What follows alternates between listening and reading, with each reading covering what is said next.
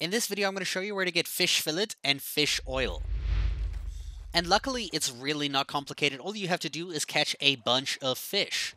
Once you've caught a few fish, you can actually go into your inventory and see the fish over here. Now, in order to actually get fish fillet and fish oil, you can actually hold S and left click to salvage the fish.